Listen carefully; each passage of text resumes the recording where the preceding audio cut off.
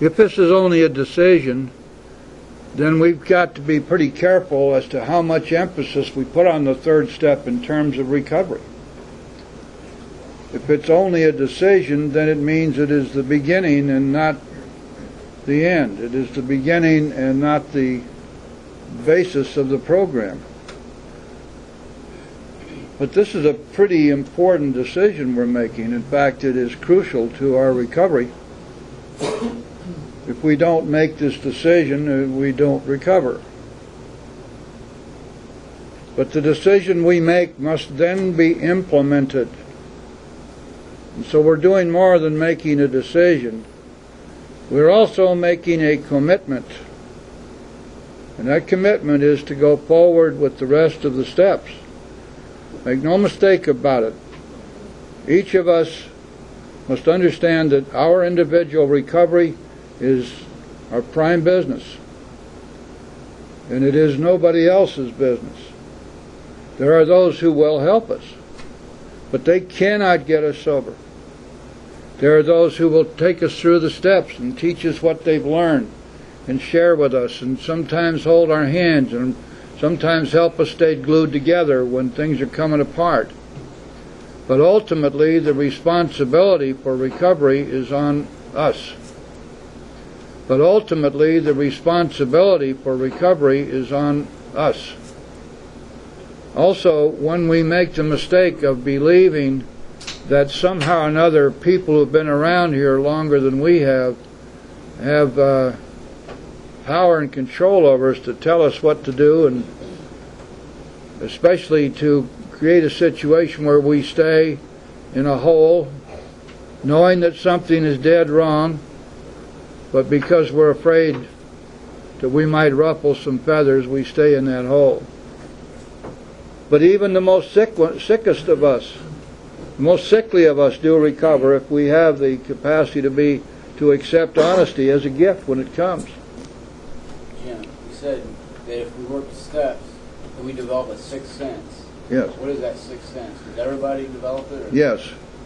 What the sixth sense means is that we have developed a an affinity for God. That means that we are able to be inspired to be intuitively in touch with our higher power. That's the sixth sense. If we look then at the at the at just at chapter five, what else do we find that we need to be convinced of? Well, for example, if you have decided that you want what we have and are willing to go to any length to get it, there's one thought. Willing to go to any length to get it. Then it doesn't say next year or when your lazy sponsor gets around to it. It says then you are ready to take certain steps. It means exactly what it says. If you don't if you don't understand that or don't believe that, go to the seventh chapter and you will find in the seventh chapter the person who has read the book and is meeting for the second time with their spiritual advisor is asked do you want what we have? Are you willing to follow along with what we did? If the answer is yes, you take them immediately to the steps. That's what the book tells us to do. And it's right. They did not fool around. Okay. Today we're going to start our look at the third step. We'll find the third step commencing on page 60 after the three pertinent ideas that Heidi just read, and ending on near the end of 63. Those pages constitute the basic directions for the third step. It's very important that you teach your sponsees that the third step is not an end all.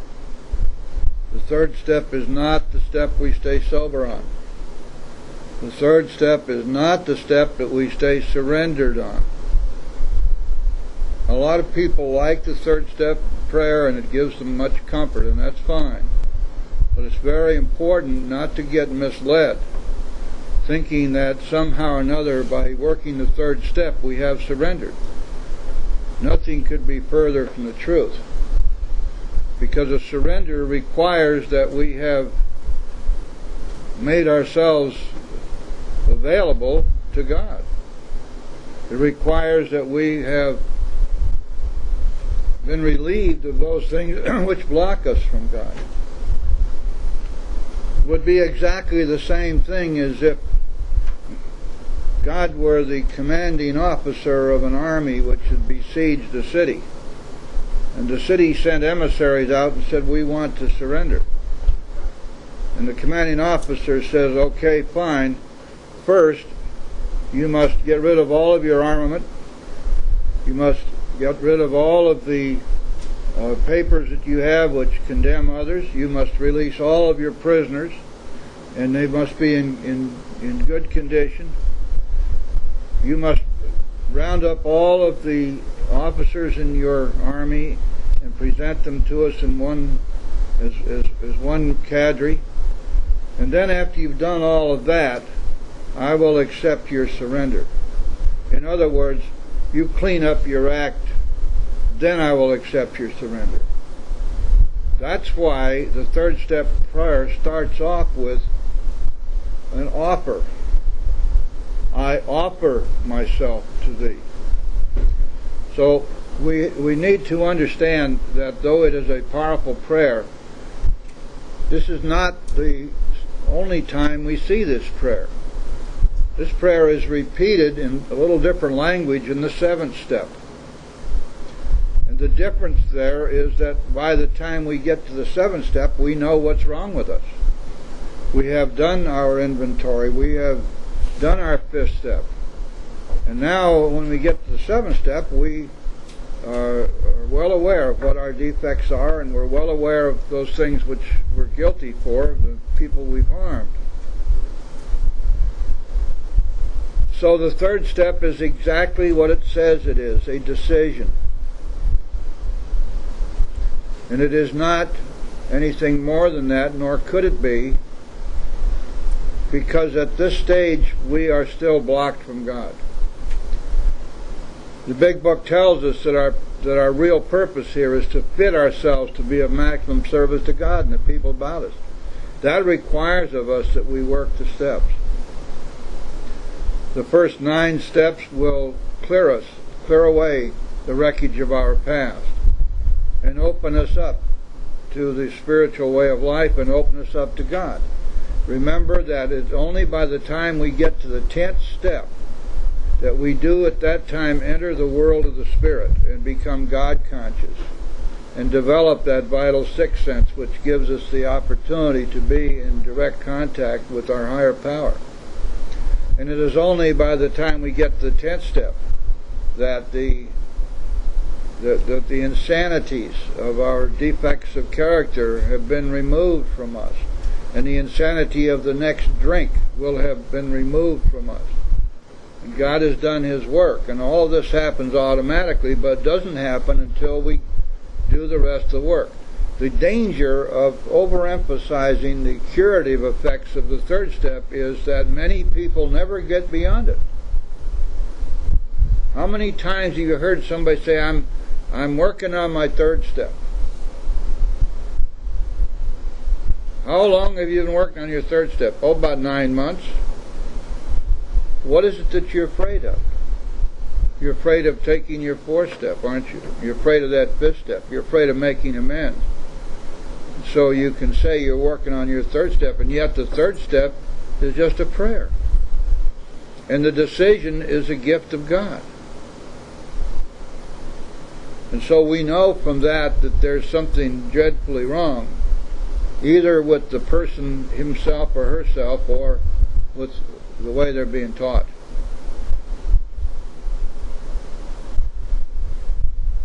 Now, if we go back to page 60, we find that in order for us to be ready to work the third step, certain things must have happened. The phrase, which is in the last full paragraph on page 60, being convinced, tells us what has to have happened. Being convinced of what? Well, it's pretty obvious that the conviction must encompass the three pertinent ideas since they appear just above. That we're alcoholic, can't manage our own lives, no human power is going to relieve us of our alcoholism. And that God can and will if we seek Him. Now, there's a lot of stuff in there that we need to understand. The fact of our alcoholism is something which ought to have been established by this time. And if you're working with somebody who still thinks that somehow, someday they're going to be able to get away with it, they're never going to make it.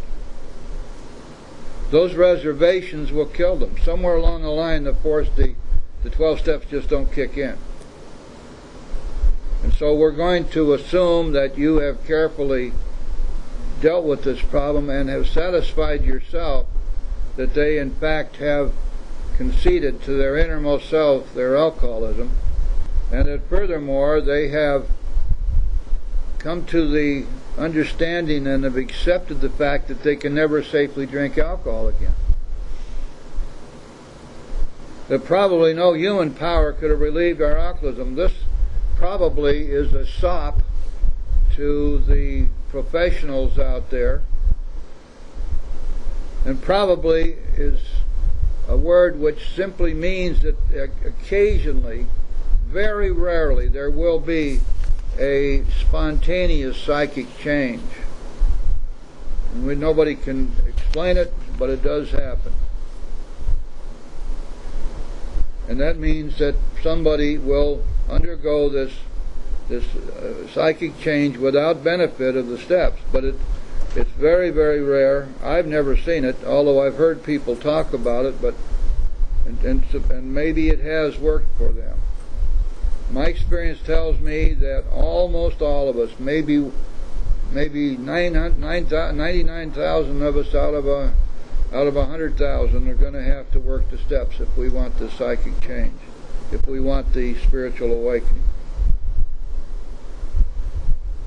So the human power is not going to relieve us of our alcoholism. And here's a real problem if you're a sponsor, these days especially. It wasn't so bad earlier on when, when the when the treatment centers and the, the the professionals in the realm of alcohol and drug treatment and all the, the people who believe they've got some kind of a solution through through uh, group therapy or pills or shots or psychoanalysis or whatever else. They in in those days these this this this had not proliferated. Today, in this uh, alcoholism scene, this sort of human solution stuff is ubiquitous. It's everywhere, and many many times your your your new sponsee is going the first contact they're going to have with recovery is going to be in a treatment center or perhaps in a detox, or perhaps in a doctor's or psychiatrist's office. Now, they don't know it yet, but we must know it. We must know it, and we must accept it as a fact. The Big Book is telling us the truth that human power does not get us sober. human power will not relieve us of our alcoholism. The why of that is relatively simple. we have a disease which the basis of which is spiritual. The manifestations, the symptomology, of course, are mental and physical. But the basis of the disease is spiritual. It's spiritual bankruptcy. And so, therefore, a human solution is not sufficient to deal with a spiritual problem. Only a spiritual remedy will suffice. The Big Book tells us this in every which way it can. And we need to make sure that we understand going in that we're going to have to deal with this with the people who come to us, especially if they're new and coming in now in these days of human solutions being everywhere. We will hope that the first step is kicked in. we will hope that the second step is kept kicked in and that at least we're now dealing with somebody who has come to believe that there is a power there which is strong enough and and wants to relieve them of their insanities, to restore them to sanity. This is a major step forward. But now we're going to ask them to go a giant leap. The big book doesn't make any bones about it, you know. There's, it, it's either or. We must do this or else. Now, there's no way that we're going to talk anybody into it. There's no way that they're going to talk themselves into this decision. But it will come if they are willing to do the work that's necessary to lead up to it. Now, taking the last part of the three pertinent ideas, the third idea, that God can, well, that's easy enough if we have, uh, if we've done our second step, we have, we have now admitted and, and, and, and ascribed to God sufficient power to do this. The God can, the next phrase, and will. Now you remember that that's what's missing from the second step. A lot of people will call that to your attention. That there is this higher power which can restore me to sanity. This but it doesn't say he will. But here it says he will. Can and will. If we seek him. Aha. See, now there's the rub. There's the problem. Hello, Clarence. There's the problem. Because it is in the seeking that we are going to do the finding, and no and no way else. This stuff isn't going to just sneak into our room one day and say, "Aha, here I am." See, you have found me. We must seek. But look at what that promise is. It is not a conditional promise at all. It is an absolute promise that if we seek God, He will re- uh, remove from us the obsession and the compulsion to drink. That whereas no human power can do it, God can and will if we seek Him. Now your sponsee will say, well, how do I go about seeking God? Do I have to get back into church, or do I go down to the local ashram, or do I read spiritual books, or what do I do? And your answer to them is very simple. You work the steps.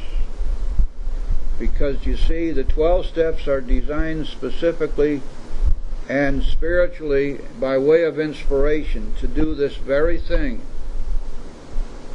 To take us from a place of rebellion and defiance and denial to a place of surrender and obedience. And they will do that. And along the way, we, we gather more and more and more faith, and we begin to trust God more and more. And we, as we clean away the wreckage of our past, we find that God enters into our lives and our hearts. The big book says in a way which seems miraculous. Indeed miraculous. And so, this is one of the most important phrases in the big book. That God can and will, if we seek Him, we must not let our sponsees just slough over this. This is this is powerful stuff. Not only that God can, but that He will. And the only requirement is that we seek Him. How do we seek Him? We work the steps. Now let's get on about it. The next two words are equally important. Being convinced.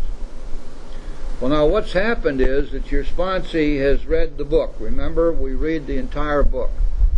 But now, because we have worked the first and second steps, we have concentrated to a large extent on the first four chapters.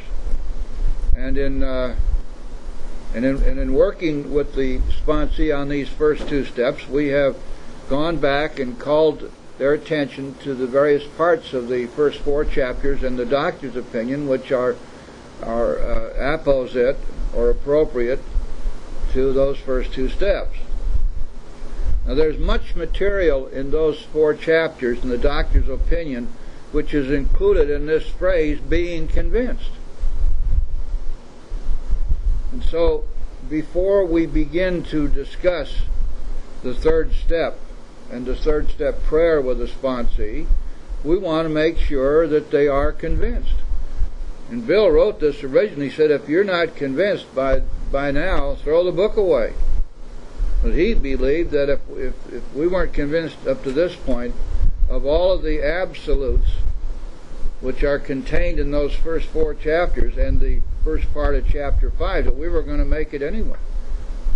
The editorial board said, no, no, no, we'll just make that being convinced, which is what they did. So they changed it from the original manuscript.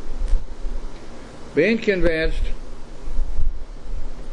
we were at step three. Now let's see what we need to be, they need to be convinced of. Let's go back. Let's just take chapter 5 for starters. Page 60. Being convinced of that material which is in the first paragraph of chapter 5, those who do not recover are people who cannot or will not completely give themselves to this simple program. what part of completely don't we understand? It does not mean part way or conditionally or with reservations. This means a, a, a complete and utter surrender, unconditional surrender. Going on to say, usually men and women who are constitutionally incapable of being honest with themselves. Notice the two things are connected. That the the failure to make a complete surrender is is tied together with the inability to be honest with ourselves. We also have another lesson here. If you've got a sponsee who is unable to be honest with themselves and with you, they're not going to make it. This is what it tells us. Your sponsee needs to be convinced that this is so. That, that they're on a path now to make a complete surrender and that it is absolutely essential that they be willing to be totally honest with themselves and with you. And the reason with you is that we're assuming you're going to do their fifth step. Because it is in the fifth step that their full honesty has to come out. Going down into the second paragraph. If you have decided you want what we have, okay, being convinced, have I so decided? And are willing to go to any length to get it? Am I willing do I understand that this willingness to go to any length is a requirement here? Another categorical imperative, an absolute, an or else. Am I convinced that that is necessary and have am I convinced that I have made that decision? Then you're ready to take certain steps. Then means now. It doesn't mean sometime when your lazy sponsor gets around to it. It means now. If you have any doubt about that, you can check in chapter 7. We've all, we went over that a few weeks ago. Where at the second meeting, the sponsee having read the big book and saying that they're ready to go with the 12 through with the 12 steps, we take them immediately to the steps. You're ready to take certain steps. Am I convinced that that is so? That I'm ready and I'm willing and the next, the next step I must take is this third step. We thought we could find an easier, softer way, but we could not. Am I convinced that that is true? Or am I searching desperately around for anyone who will pump me up with the siren song of the easy way? Oh, you don't have to do all that stuff. Here's a bunch of forms, just fill in the blanks. Or I didn't work the steps until I was five years sober. I'm sure you can do the same thing. Just don't drink and go to meetings and enjoy the fellowship. Of course, by the way, you need to empty ashtrays, fix the coffee, and be a greeter at the door. But what about if I want to go out and carry this message to other alcoholics? Well, that can wait, your mind doesn't clear up for five years anyway.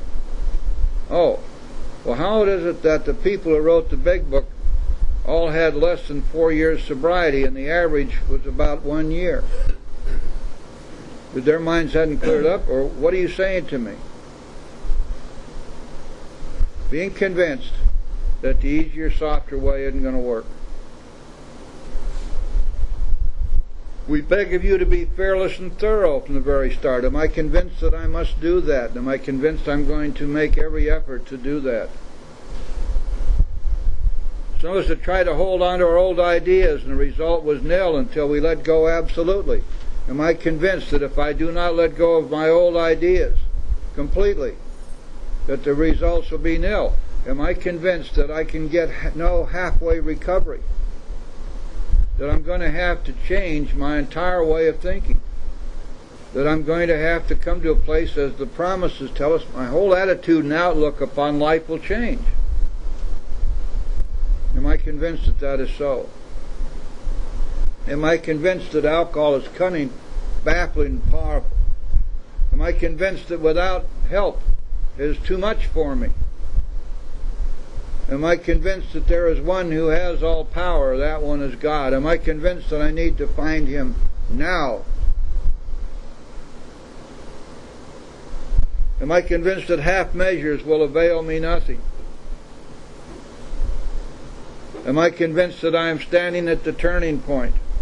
Am I convinced that I must ask God's protection and care with complete abandon? You see, no weasel words anywhere in those pages, uh, are there? There's no outs here. There's no uh, middle road here. We're not temporizing in any way. We're laying it out. This is the truth. This is what has to happen. Am I now convinced that, uh, that this is what I must do? And am I convinced that I am willing to do this? Looking at the steps, am I convinced that these are the steps which those who wrote the book took in order to achieve sobriety and continued sobriety and spiritual growth and a whole new way of life? Am I convinced that I wish to take these steps? Am, am, I convinced that they will work for me as well as they have worked for those who came before me? Do I believe what Dr. Bob told me back in his story that this never fails if I go about it with one half the zeal I used to go about getting the next drink?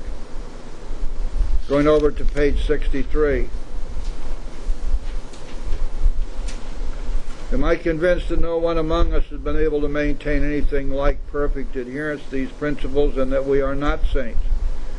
Did my sponsor explain to me that this business of sainthood is a direct result of the practices in the initial uh, years of the fellowship, which which were dictated in large measure by the Oxford group. And the Oxfordians believed that they reached a stage of perfection. There was a kind of a feeling of sainthood among them. And one of the principal prayers that were being used at that time was the St. Francis prayer. And when we read that prayer, we realize we're asking God to make us just like Him. And we also came to realize we can't be. We don't have sainthood written large on that slate in heaven for us.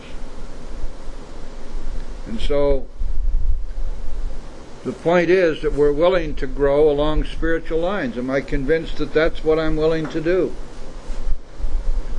Am I convinced that the principles, that is, the steps, are the guides to progress? And that I'm going to be able to claim spiritual progress instead of spiritual perfection? Now we can see what that two word phrase means, being convinced. This is not a throwaway, it's something for serious study and serious reflection and serious consultation with your sponsees. Now, of course, there are other parts of the first four chapters in the doctor's opinion which we likewise need to be convinced of. For example, let's turn to page 25.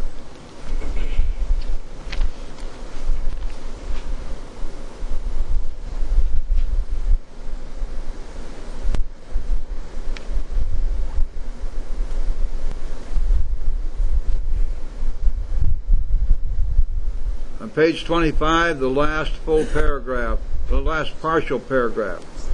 If you are as seriously alcoholic as we were, we believe there is no middle of the road solution. Today, solutions that are being offered to many of us are clearly middle of the road. They are temporizing solutions. They are compromising solutions.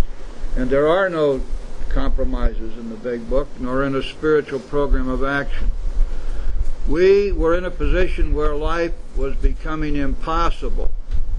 And if we'd passed into a region from which there is no return through human aid, and of course that's a that's a definition or part of the definition of alcoholism, that there is no return through human aid. We had but two alternatives. Am I convinced that this is true? That when I hear people say I have choices today, what they really mean is they have a choice between two things as outlined here. One was to go on to the bitter end, blotting out the consciousness of our intolerable situation as best we could, and the other to accept spiritual help. Am I convinced that these two alternatives are the only choices I have?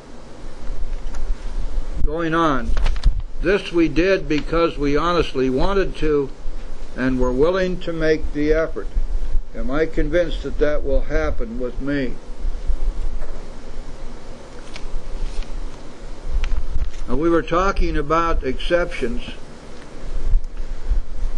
to the rule that we must have a spiritual awakening. Take a look on page 27.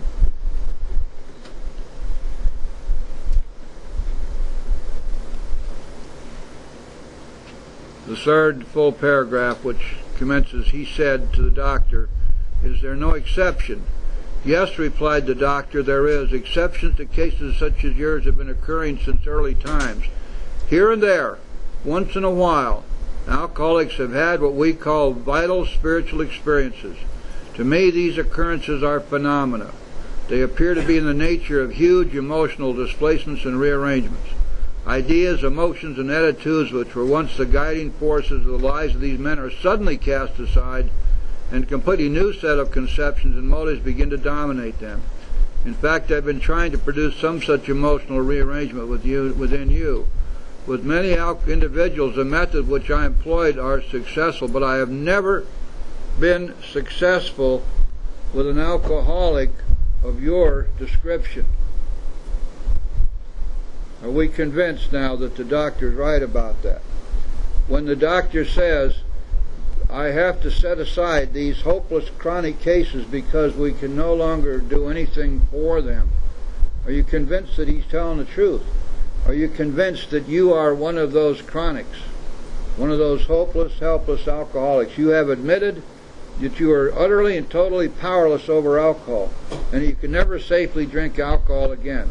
Concomitant to that is this precise understanding and conviction that yes, I am a chronic, hopeless alcoholic.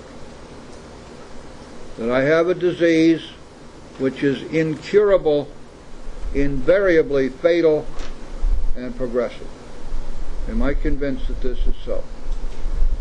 I, I think maybe we're beginning to see how critical it is that this understanding be in place before we can look at the third step as being a viable alternative to the continued um, the continued presence of alcoholism. Because remember that your sponsee has spent a lifetime learning to cope with life with the use of alcohol and other things. And now they're being asked to, to permanently give that up, to seek another solution, another way of life which will relieve them of their terror, bewilderment, frustration, and despair that they walked in the door with. And as far as they're concerned, the only thing that ever worked, even temporarily, was a was a bottle of alcohol or a crack pipe or a shot in the arm of something. It's the only thing that ever worked. And the and, and the it's like it's like giving up the one thing we know in lieu in, in, in, in lieu of something which we don't know, but we're going to have to take on faith. And generally speaking, the only way that we can expect someone to do that is when they have reached a point, point of utter desperation. Now, this is one of the watchwords that we have to be that we have to, as sponsors, we have to be aware of. There are many, many people who seek our help who really and truly don't want to quit because they can't understand or swallow the idea that they're forever being barred from something which they have utilized all their lives and that they've learned to cope with life through the use of. We must not be led astray believing that we've got somebody who is who is desperately working the steps and going through all the motions. If we haven't satisfied ourselves that they are convinced, that's why those two words are there. Being convinced. And that's why Bill said, if you're not convinced at this point, throw this book away. It isn't going to do you any good. In essence, you don't belong here in this book. Now, we've changed our tune from that time. We had to because we don't make any judgments about the the state of the alcoholism of anybody who comes in and says they want to quit. We can't because we are not qualified to do so. And we could make some terrible mistakes. And so everybody is welcome. But alcoholism is a self-cleaning oven. And those who don't belong here soon get weeded out. There are a few rare ones who like it so much that they'll stick around in spite of everything.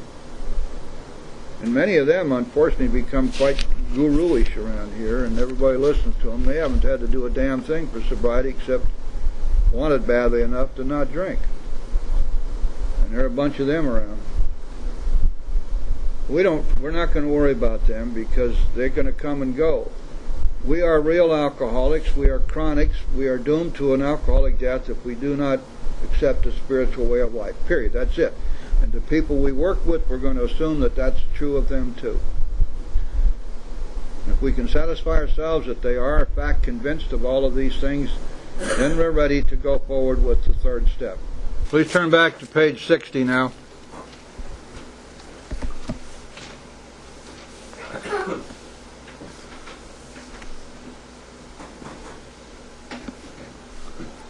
The last partial paragraph on page 60. The first requirement is that we be convinced, here's that word again, that any life run on self-will can hardly be a success. On that basis, we're almost always in collision with something or somebody, even though our motives are good. It's referring back to the fact that we look back on our lives, we find much failure. We find that uh, our, we've had failures in our relationships, failures in business, failures in life generally. Most people try to live by self-propulsion. And when it says most people, it means everybody out there, not just alcoholics. The difference is that they can get away with it, and we can't. They may be having a really tough life, but they're not killing themselves with booze over it. We're going to learn the same thing when we get to the chapter to wives, and it tells us that the wives found that they have all the same defects their husbands had. So we know from this that we're part of the general public in terms of the way we've been approaching life and in our in our our basic approach being self-propulsion.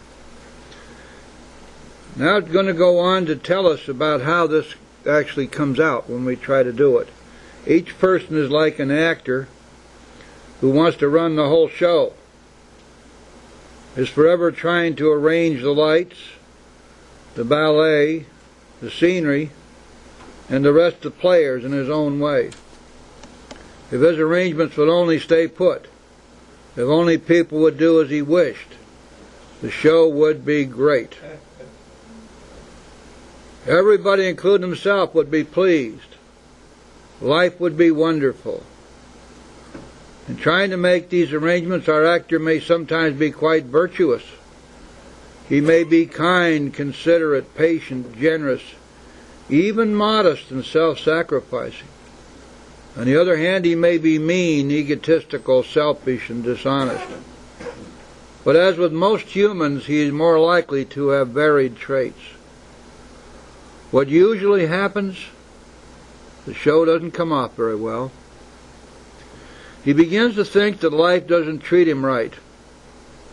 He decides to exert himself more. He becomes on the next occasion still more demanding or gracious, as the case may be. Still, the play does not suit him. Admitting he may be somewhat at fault, he is sure that other people are more to blame. He becomes angry, indignant, self-pitying. We can stop right there for a second because what happens so much, you're going to find this with the new people that you sponsor, and, and, and also with people who come to you, have been around for a while, they just haven't gotten over what they, they think they've learned. Because so much of the human solution out there is designed to bolster these, these uh, excuses for failure giving us what we want to hear.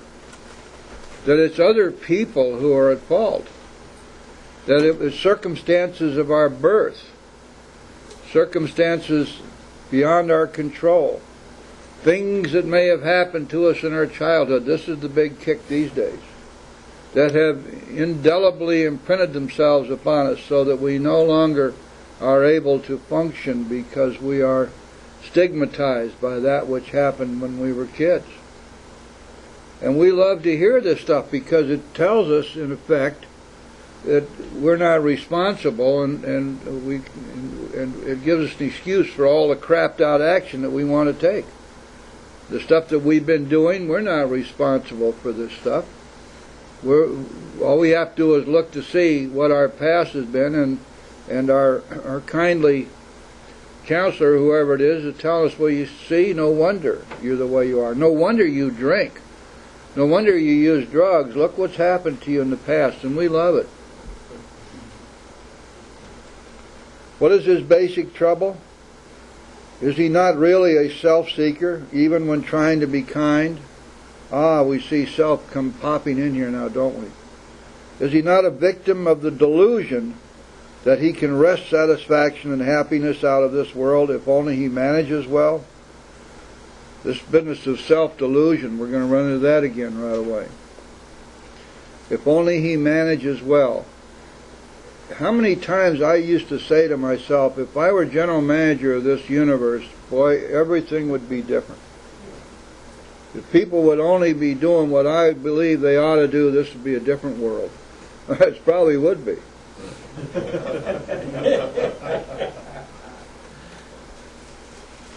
Is it not evident to all the rest of the players that these are the things he wants? And do not his actions make each of them wish to retaliate, snatching all they can get out of the show? Everybody then out for self. And we've just come through the age of self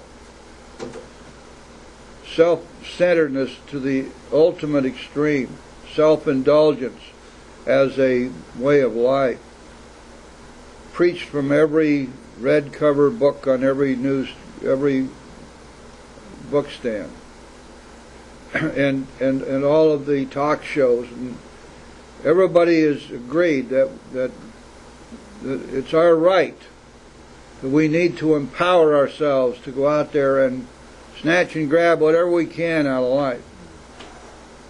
The idea that we will only receive that which we are willing to give in the first instance is an anathema. We don't want to hear this stuff. We're, we are we are soaked and deluged with the idea of empowerment and getting power and acquiring power and keeping power. That this is the way we're going to become happy and contented and serene and safe and secure. And it's a damnable lie. It just doesn't work. Is he not, even in his best moments, a producer of confusion rather than harmony? Now, we want our, our newcomer to read this and to understand that it's talking about him or her. This is not somebody over here. We're not watching a TV show that we can turn off. This is not a play. This is not a, a fanciful book. This is the story of each of us. In one form or another, to some extent or another, each of us have done this. And so this is allegorical.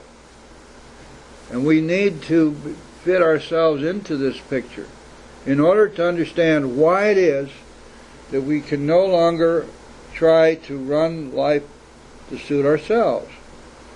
The most important reason at this juncture is not because it is anti spiritual or anti God, it's because it doesn't work. Now, if you want to boil Alcoholics Anonymous down to the lowest common denominator, the simplest possible equation, the first thing we have to do is find out what did not work. And then we have to find out what will work, and then we have to do what will work. And when we do what will work, our whole life changes. And here in these pages, we're finding out what did not work. Going on on page 61, our actor is self centered, egocentric, as people like to call it nowadays. He is like the retired businessman who lolls in the Florida sunshine in the winter, complaining of the sad state of the nation. The minister who sighs over the sins of the 20th century. Politicians and reformers who are sure all would be utopia if the rest of the world would only behave. The outlaw safecracker who thinks society has wronged him. And the alcoholic who has lost all and is locked up. Whatever our protestations, are not most of us concerned with ourselves, our resentments, and our self pity. Amen to that. Now then, this is where the cheese gets really binding, guys. I don't know if you ever heard that expression before. Because now we're going to, it's our job to help our sponsee understand what these next two paragraphs mean. This is a complete and utter departure from that which our sponsee has been taught and perhaps recently, only recently, has been bombarded with the opposite story. That he or she is not responsible for what has happened. He or she is not responsible for their their failures in life. He and she he or she have been the victims of society and the accidents of birth having been born black or Polish or Serbian or Arabic or even being given the name Billy. oh,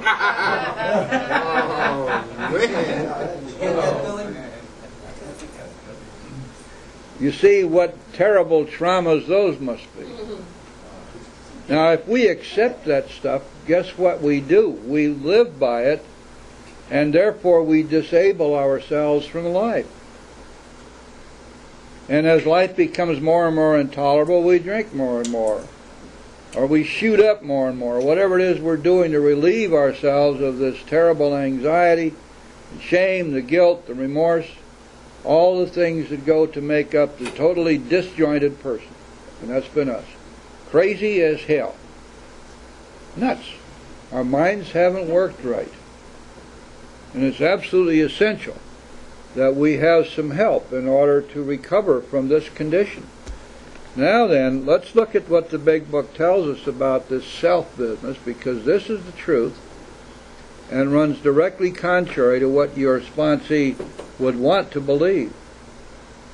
Selfishness, self centeredness. That, we think, is the root of our troubles. Driven by a hundred forms of fear, self delusion, self seeking, and self pity, we step on the toes of our fellows and they retaliate. I want you to notice that the first the first deficiency which is mentioned here is fear. Because it is fear which is the driving force, the progenitor of selfishness and self-centeredness. Remember that, it, that behind all of these defects of character lies fear. Fear is our enemy. It is our only enemy driven by a hundred forms of fear, self-delusion, self-seeking, and self-pity, we step on the toes of our fellows and they retaliate. Sometimes they hurt us, seemingly without provocation, but we invariably find that at some time in the past we have made decisions based on self, which later placed us in a position to be hurt. Now, what does this mean in simple terms? I think this means in simple terms that we have to teach our sponsees that they are responsible for whatever happens in their life. Not guilty, not wrong, but responsible. Because they have made the decisions which placed them in the position of vulnerability. They have made the decisions which led inexorably to certain results. If you think back on your life, you realize there have been thousands of times when you've made a decision. And if any one of those decisions had been different than it was, you would not be sitting here today. Over and over and over again, we are called upon to make decisions. And if those decisions are based on fear and based on self, they will inevitably lead us to even greater discomfort, even greater problems. So if we can finally come to the place where we accept the fact, as a fact, that we are responsible for whatever happens in our lives, now you can bring up all sorts of scenarios where people have been arbitrarily selected, for example, for incarceration in a death camp. You say, how in the world could that person be responsible?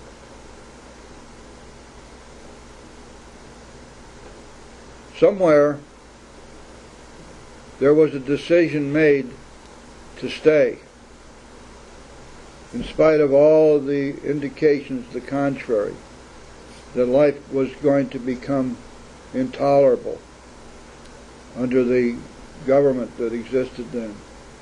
That decision was based on very many probably valid points, but nevertheless a decision was made to stay. It is undoubtedly true that there are people who are simply whipsawed by life. And yet, if we begin to make exceptions to this rule, where do we stop? Where do we say to our sponsee, well, you can be off the hook as to this, but not as to this? and we can't do that. So we're going to ask them to accept that they're responsible in some form or another. Not guilty, not wrong, responsible. This next paragraph is the is, is key to everything. Believe it or not, this one paragraph truly defines the problem. And it defines what it is that we must be dealing with from here on. So our troubles, we think, are basically of our own making. They arise out of ourselves. And the alcoholic is an extreme example of self will run riot, though he usually doesn't think so. Now, we have several other examples of this same idea in the big book. For example, take a look at page 53.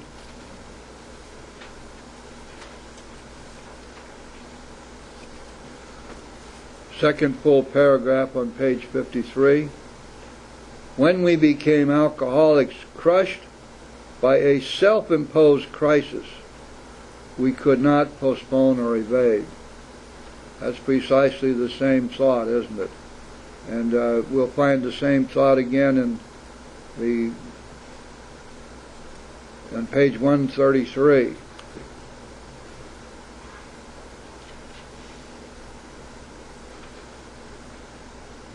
Five lines down from the top of the page. But it is clear we made our own misery. God didn't do it.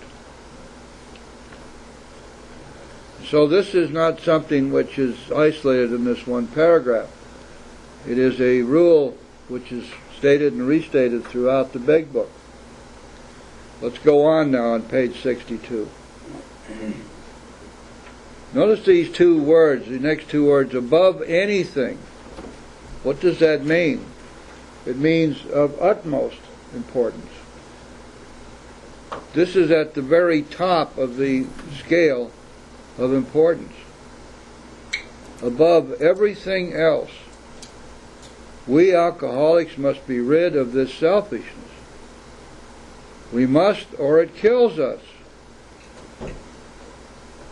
Well, now that seems like a pretty wild statement that we're going to die because of our selfishness. Well, let's think about it. Is it? Let's go back to the basics again. Did we not decide that we were powerless over alcohol? Which means that on our own self exercise of our own willpower, we could not stop drinking that we're powerless to stop drinking. We've already decided that we need God's help.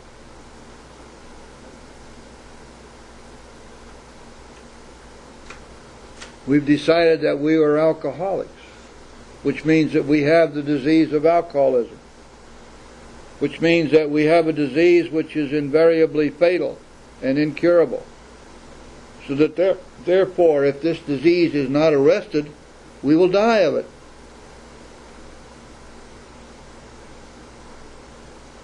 What is it that blocks us from God primarily?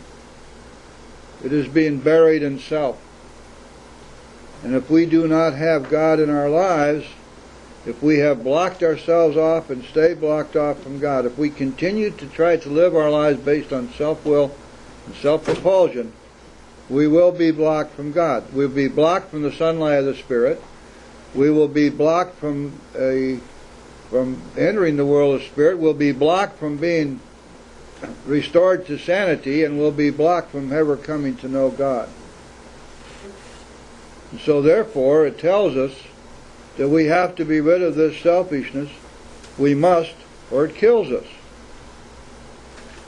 And then it tells us that God makes that possible. In other words, it is saying right up front here, guys, look, we're not saying to you that you got to go out and become unselfish. Because we know that you can't, just as we can't. This is just as much an item of powerlessness as our alcoholism. I am as powerless over self and selfishness as I am over, alcohol. But God makes that possible. And there often seems no way of entirely getting rid of self without His aid. Many of us had moral and philosophical convictions galore, but we could not live up to them even though we would have liked to. Neither could we reduce our self-centeredness much by wishing or trying on our own power. We had to have God's help. now, this is parallel to something we learned back in the four step. Let's go back and take a look on page 45.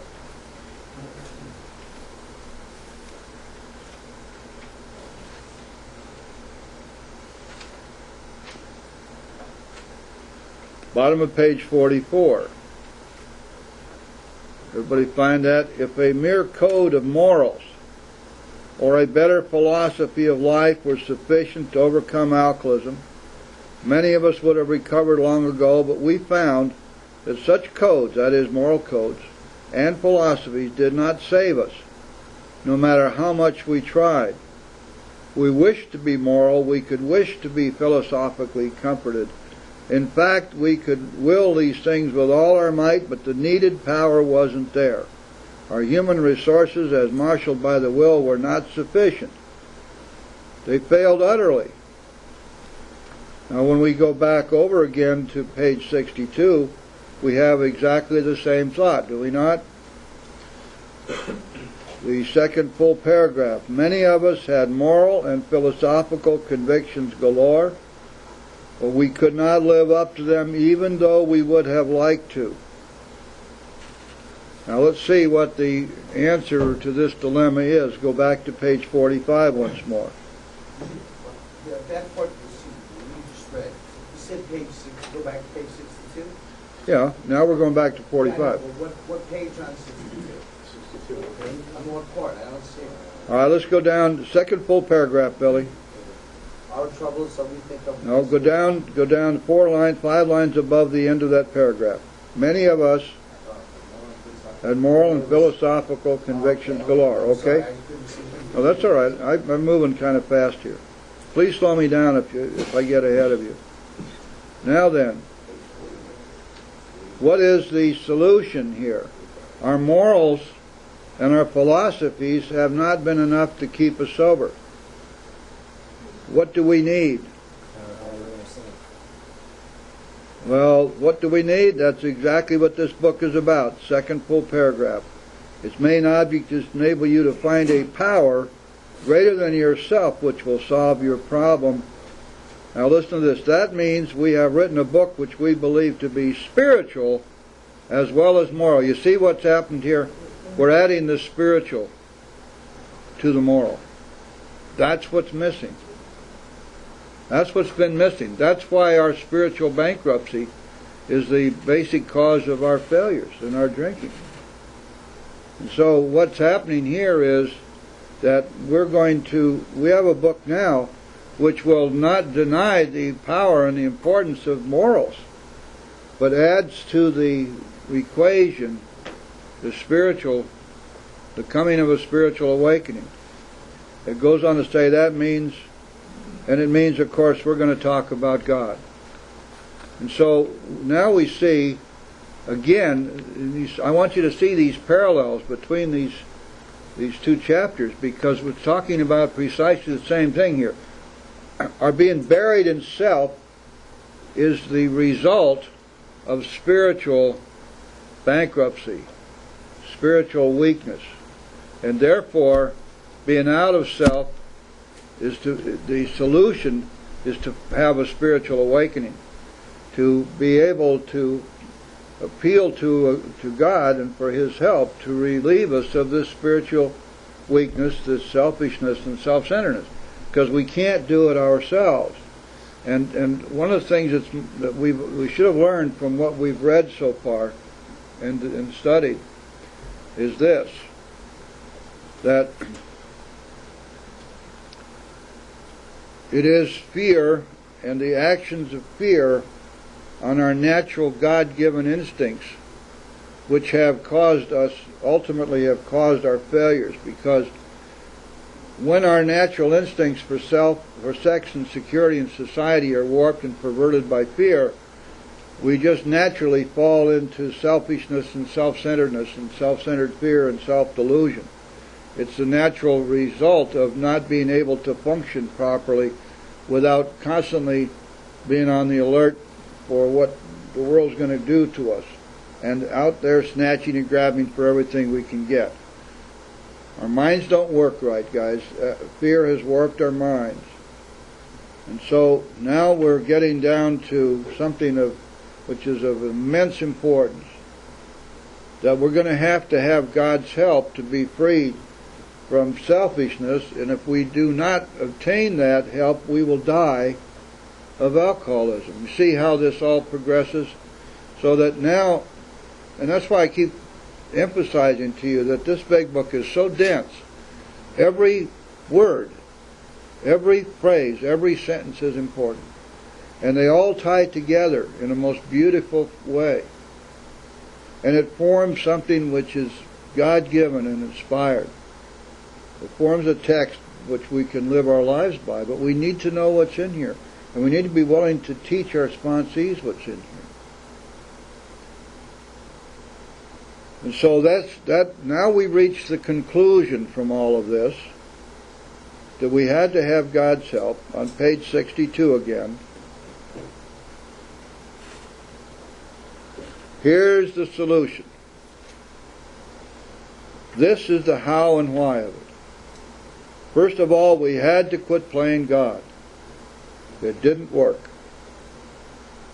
Next, we decided that hereafter in this drama of life, God was going to be our director. He is the principal, we are his agents. He is the father, and we are his children. Most good ideas are simple, and this concept was the keystone of the new and triumphant arch through which we passed to freedom.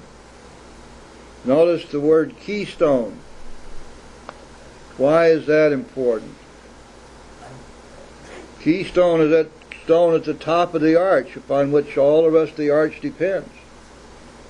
Without that keystone of, of uh, surrendering to God and letting Him be the Father and we the child, we never build the arch.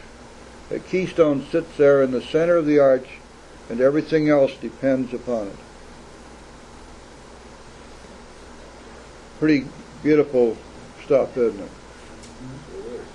This book is incredible, guys, and I, I'm hoping, and I know that so many of you have been faithful uh, attendees at this workshop. One of the things which I hope to do is to pass on to you the uh, my fascination with the beauty and symmetry and of this book and what it has to teach us about living our lives and living our lives in a way which is satisfying to our higher power. And living our lives as a life, a life of service. You know, it's, it's, it's like this. We say it over and over again, but it's the truth. For most people, we're born, life's a bitch, and we die. So what? So what? We spend our lives seeking some degree of comfort and security. We seek to survive. We seek to have pleasure whenever we can find it. And we look in all the wrong places. Because we never were taught that life, living life means to live a, a group of paradoxes, all of which are true and all of which are the realities of existence, whereas the things that we're taught, so many of them, are phony, untrue, and lies. They just don't work. And yet we keep right on doing this stuff because we don't know any better. But there's no excuse now. We have this book and it teaches us what we need to do. All right.